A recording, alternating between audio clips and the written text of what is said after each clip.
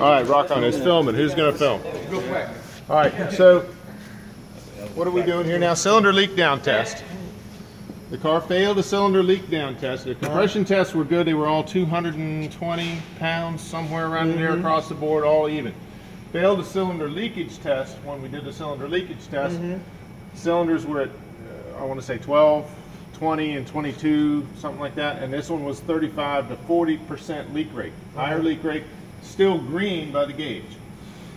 When we have a cylinder leakage, we want to figure out where it's coming from. Right. So as we are testing, it's normally going to come out the intake, if it's an intake valve issue, the exhaust pipe, if it's an exhaust pipe issue, or out the crankcase, if we have a sealing issue because of the rings.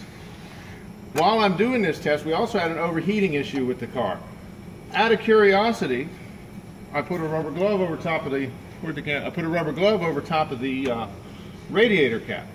So we're introducing air into the cylinder while I'm checking for the leak points. Not a common leak point, but because the car is trying to wave at us now, it is uh, indicative that I'm actually increasing pressure in the cooling system. The only way that's going to happen is because of either a cracked cylinder head or a leaking head gasket, or in a very rare case, maybe something with the combustion chamber. But more than likely, it's a uh, cracked cylinder head or leaking head gasket. So that's that's you're probably not going to find a glove on top of that in any textbooks, but it works. This works very well for finding discrete air leaks. I've done it on a, on different applications. You could do the same thing up here if you thought you had a discrete air leak coming up here.